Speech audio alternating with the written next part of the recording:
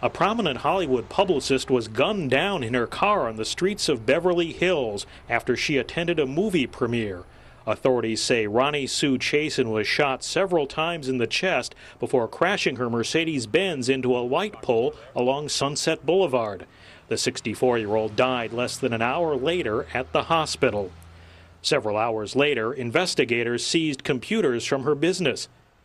Chasen, who promoted the Oscar winning movie Driving Miss Daisy and other major films, had worked in the Hollywood publicity industry for over 30 years.